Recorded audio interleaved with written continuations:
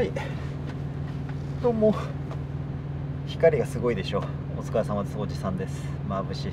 こっち開けた方がいいかな。撮影の時だけ。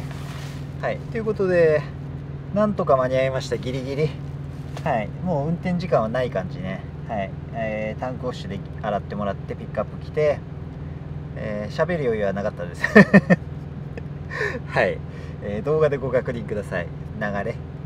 タンクウォッシュすぐそこね。すごいもうすぐ1分って感じですね。ただ入り口最初分かんなくて久々に来たんで4年ぶりに来たんでちょっと悩んでました、でもうなんとかなんとかなってえー、ピックアップ自体はすごい早かった。30分ぐらい、うん、今回の荷物はイーストクリームです。イーストクリーム、うん。まあ、クリーム状のイーストってことだと思うんですけど見た目はね白い白くてドロドロしてました。ってすごい熱い感じ。熱気がブワーって出てて、うん、イーストだからなんかペットフードに混ぜ込むと膨れてくるとかですかね、うん、ちょっとわかんないですけど。わかんないです。はい。ということで今日はこんな素敵なところがおじさんの家です。うん。なんかそうだ。カメラ活用してみよう。これ。は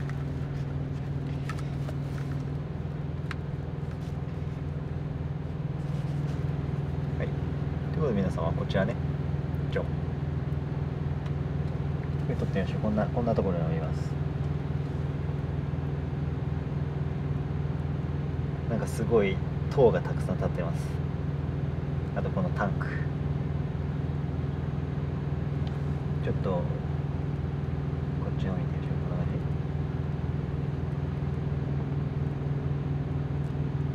このカメラ多分画質いいことを願う。こんなところにおります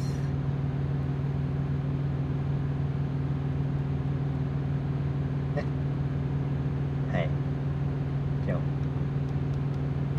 でもおじさんどうもフェイストラッキングしてどうも。はい。すいません。ピポン。キープしようとしてますこれ。返そうとしたんだけど。悪くない？こういう用途には。うん。多分。多分ね。なんかこうこれもついてるんですよ。なんか広角レンズ？なんかそんなんでもないけど一応広角になる。少しね。磁石でつくやつ、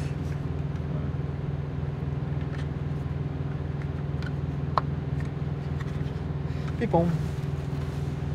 ということでまあおじさんのトラックの周りの様子はこのセキュリティカメラで全部映ってると思うんですけどこんな素敵なとこにおりましてえー、ここで今日の夜11時まで休憩してで出発しようと思います、はい、運転時間がもうほとんどないです。週間の労働時間の残りが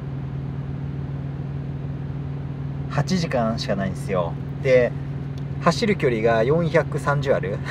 だからギリギリ。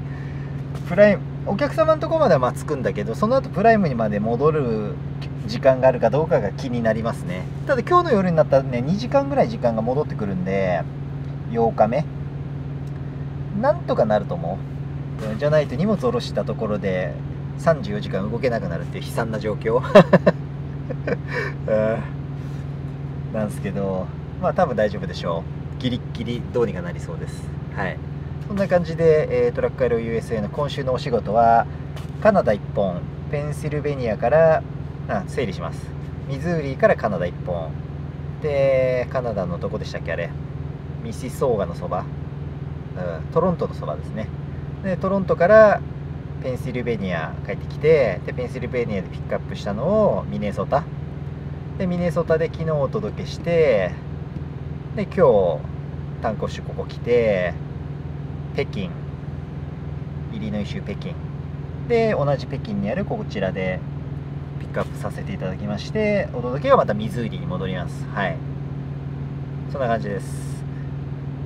えー気合入れて頑張ってきます。今日の夜ね。はい。です。それでは失礼します。こんな素敵なところで、えー、ご飯これから食べて寝ようと思います。それでは失礼します。さようなら。はい